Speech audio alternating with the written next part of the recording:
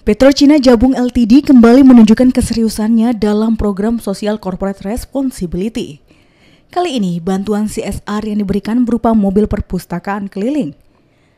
Dalam kesempatan ini, bantuan diserahkan oleh Vice President Petrocina Marike PY Pulonggono dan langsung diterima oleh Bupati Tanjung Jabung Barat Safrial. Oke, Ibu, lihat sini, Bu. Lihat sini, Bu. Lihat sini, Pak.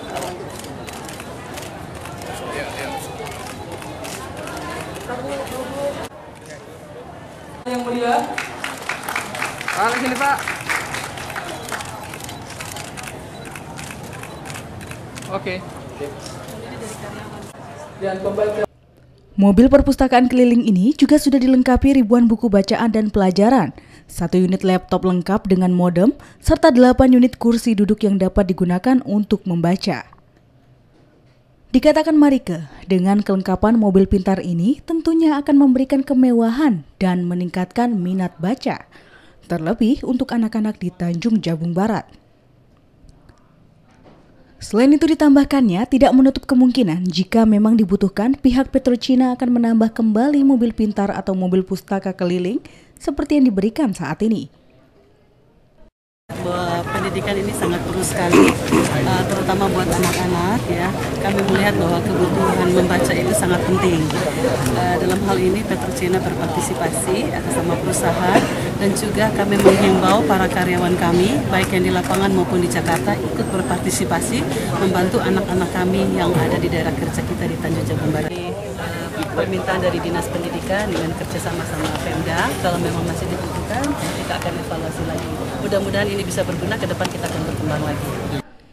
Sementara itu, Bupati Tanja Barat Safrial mengatakan, dirinya sangat berterima kasih atas bantuan yang diberikan oleh Petrocina.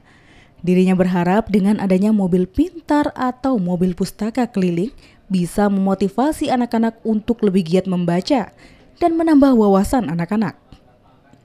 Selain itu, Safrial menekankan agar dinas terkait dapat memanfaatkan bantuan ini dengan sebaik-baiknya.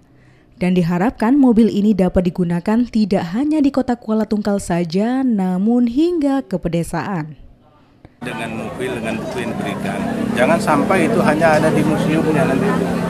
Jadi mobil, buku itu ditaruh di kantor, tidak di, disebarluaskan ke masyarakat. Maka itu yang saya katakan tadi, kita juga punya satu dulu. Nah ini sudah dua, tambah satu dua, dua.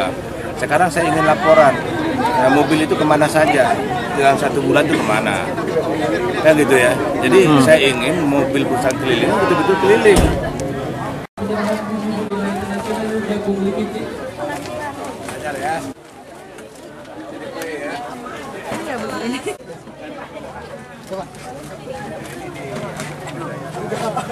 bahwa perpustakaan sudah diterima dan kami berharap supaya perpustakaan sering mampir ke sekolah kami karena di sekolah kami juga bukunya kurang pas ada jadi perpustakaan kami harap sering-sering ke sekolah Surya Kurniawan, Cek TV melaporkan.